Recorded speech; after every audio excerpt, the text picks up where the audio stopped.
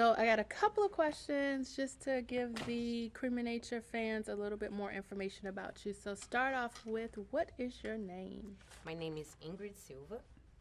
And tell me a little bit about who are you? What is it that you do? I'm a professional ballet dancer with the Dance Theater of Harlem. So tell me what makes you supernatural? What makes me supernatural it's being unique and being myself and being able to express how special it's to be yourself.